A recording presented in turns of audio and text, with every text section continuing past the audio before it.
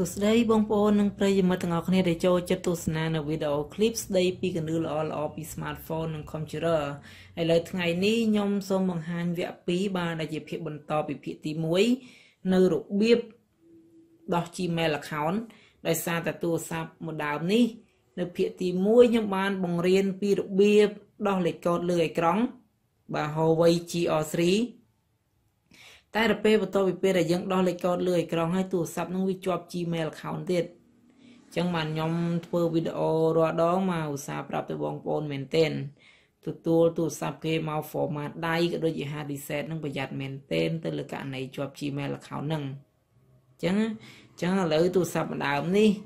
អឺ ខ្ញុំ hard reset ហើយវាទៅជាប់ Gmail account អញ្ចឹងខ្ញុំសូមបង្ហាញពីរបៀបដោះ Gmail account នឹងតែម្ដងបងប្អូនជ្រើសយកវីសាណាមួយមកចុច next ចុចពាក្យ agree next page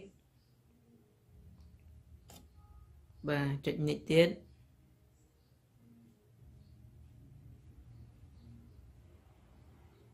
នេះត្រង់កន្លែងនេះបងប្អូនចុចឲ្យជាប់លើ space ហ្នឹងមកយកពាក្យថា more language ពាក្យ more language ហ្នឹងមក តមកចុច download language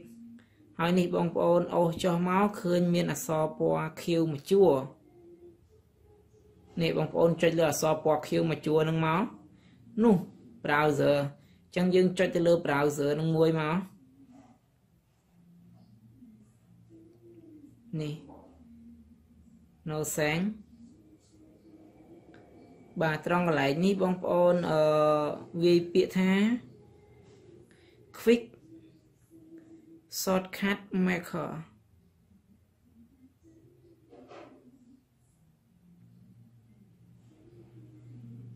នេះ quick shortcut maker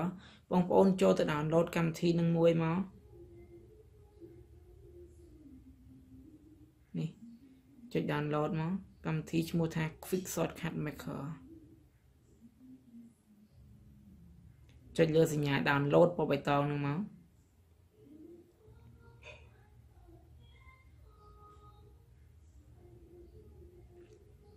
ខេចឹងការ download ពងចាប់ផ្ដើមហើយយើងរងចាំប្រហែលជា2 3វិនាទីឬក៏4 5វិនាទីទៅដោយសារតែកម្មវិធីមួយមួយវា មានទំហំរបស់វាដែរមិនមែនយើងចុច down ភ្លាមពេញភ្លាមនោះទេ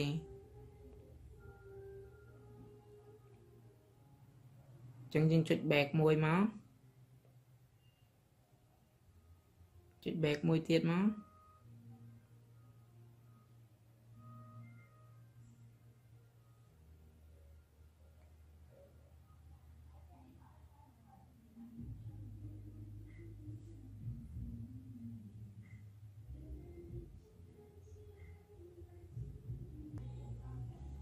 តោះឥឡូវយើងបន្តវីដេអូយើងទៀតមិញឯសារតែរវល់បន្តិចអញ្ចឹងមិញខ្ញុំប្រាប់បងប្អូនថាឲ្យចុច back នេះ back ត្រឡប់មកដល់កន្លែងដើមវិញ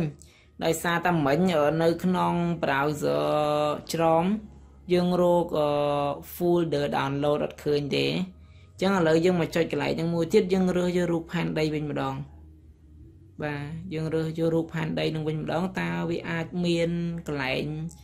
តិនន័យ download អត់ឥឡូវយើងឆែកមើលតិនន័យរបស់វា បាទចុចប៊ូតុងខាងក្រោមនេះ download អញ្ចឹងយើងចូលក្នុងនោះយើងនឹងឃើញកម្មវិធីដែលយើង download មិញ Quick Shortcut Maker យើងចូលទៅក្នុង setting នេះ install accept open វាមក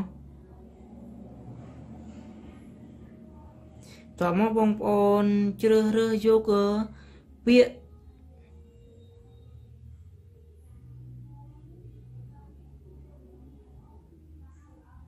Google account manager នេះឬក៏ search ដែលនេះក៏បានដែរ Google Google account manager ចុចយកពាក្យហ្នឹងមកតើមកបងប្អូនអូចុះក្រោមនេះយកពាក្យអឺ type email and password ចុចយកពាក្យហ្នឹងមក យើងមើលនៅទាំងអស់ហ្នឹងគឺអត់មានពាក្យហ្នឹងទេនេះបងប្អូនចុចយកពាក្យហ្នឹងមកម្ដងមួយមកមួយណាឲ្យយកមួយហ្នឹង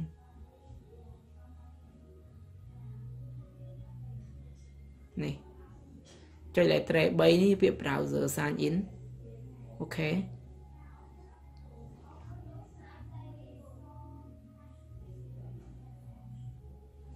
តោះមកបងប្អូនវាយ email ផ្សេងមួយទៀតចូល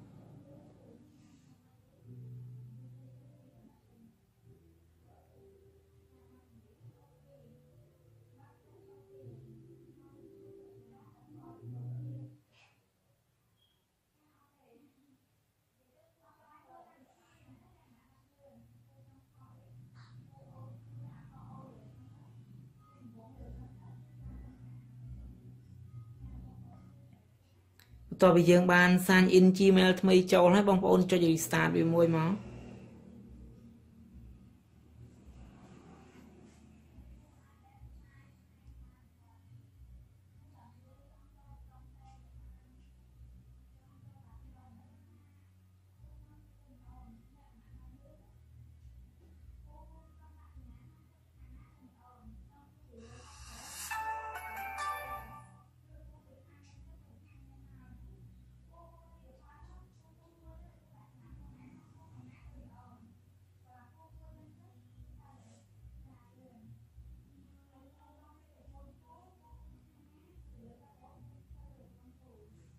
ចុច next ទៅឡើងឡើងវិញម្ដងទៀត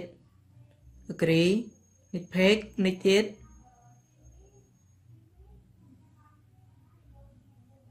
មក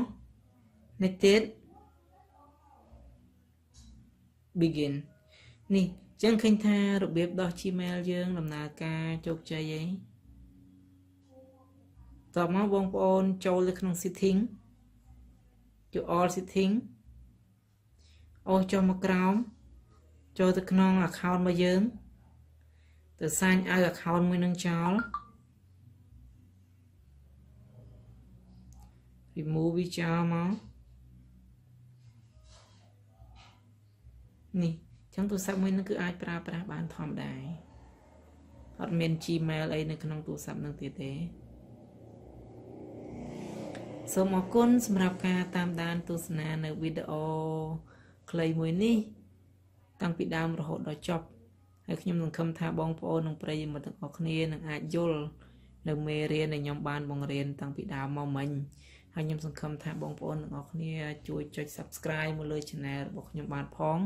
ឈ្មោះថា FOP Bypass 9សូមជួយចុច Subscribe ម្នាក់មួយមកដើម្បីទទួលបាននៅមេរៀនថ្មីថ្មីស្ដីពីគំនូរល្អល្អពី Smartphone និង Computer ជារៀងរាល់ថ្ងៃបាយបាយ